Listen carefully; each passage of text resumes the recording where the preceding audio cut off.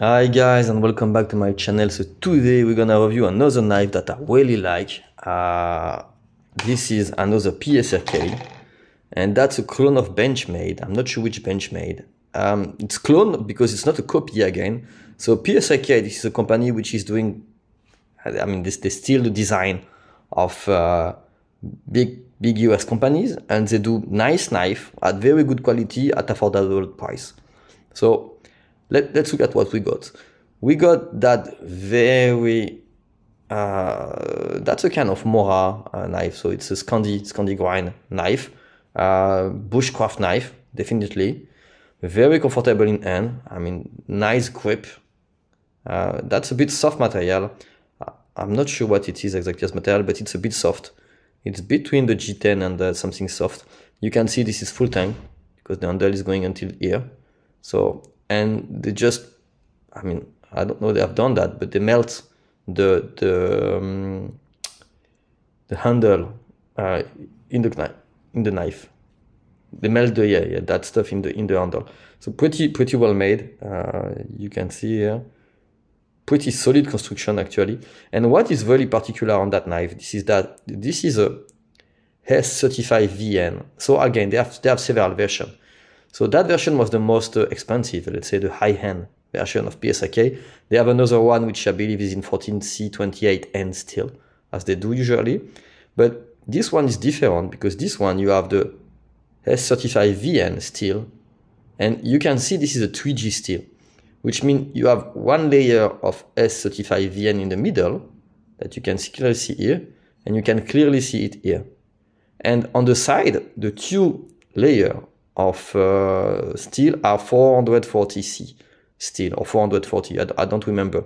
But this is not a big issue because the one in the middle, this is that all the edge and cutting part is in S35VN. This is what you expect. You have a very good uh, edge. And on the side, you don't need to get a super expensive knife because you don't really use the side. The side of the knife, this is more because you want it to be solid and you want a minimum thickness. Because if they have done a knife with like one millimeter thickness, just like you're gonna destroy it. So the fact that they melted it and they have done that that system, I think it's pretty smart because at the end, you don't need super expensive knife on the side. You need like um, stainless steel on the side and in the middle and you protect it so that's good and in the middle you get a very very nice S35 VN super sharp super steel so I mean that that's that's a good system and at the and you get a nice price you can contain the price and you can you can get a better price than if you had to put full S35 VN at the end because you just put a small layer of expensive material two layer of cheap materials but which are doing the job and, and at the end, I think you end up with that knife below $100. I'm not sure cost, how much cost the Benchmade, but, Benchmade, but this one is, is, is very good. And honestly, it's cutting super well, super comfortable in hand. Nothing to say. I mean, I really like that stuff. Um, the sheath, you can see, it's not gonna fall. Honestly, that's super well made. Again, very nice sheath, good kydex, I'm PSRK, I, I, I, love more and more and more that bone. That's a really good bone.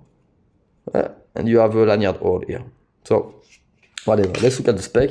Really, really nice, uh, really good surprise. I, I, saw it for a while and I was like, nah, doesn't look good. And, and finally, when you get it in hand, you know, it's simple design. I mean, it's not fancy when you look at the stuff. But when you get it in hand, I mean, you are like, yeah, that's a, that's a nice, that's a nice one. Huh? So 12.5 centimeters cutting uh, edge uh, 13 to the under, 24.2 overall size. The thickness of that one, 4 millimeters thickness. Uh, you see, exactly 4. So, yeah. And the weight, let me check the weight. So yeah, I really like that stuff. 169 grams, and with the sheath 214. So that that's that's still a big uh, a big blade. I mean, for the size of the knife, I like the fact that they have a small handle and a pretty decent uh, blade. And with that kind of blade, you can do plenty of stuff. Honestly, that that that's sufficient. It's not too big. You can put that in a backpack. Uh, if you compare to a small knife, let's look at this one. So this one is a small knife. Eh, It's, it's difficult to do a lot of stuff and you put that in the backpack, you can do limited tasks with that. But that stuff, it's very decent. Honestly, in, in the backpack, you can do everything you need for the day. There is no, is no, yeah. so that's really a good knife and honestly, I highly recommend. I'm not sure if they still have that version, which is uh, in S35VN, but I think it is super smart at the end. And yeah, for the customers and the clients, it is super good. You get a very decent steel, but for cheap because they put a 3G steel. And this is quite technical to do also. And this is good looking. Uh, we forgot to say, but look, this is also good looking, no? What do you think? I mean, small Damascus or 2J, like, like I, I like it. Honestly, I like it. That's all for today. Cheers, guys. Bye bye.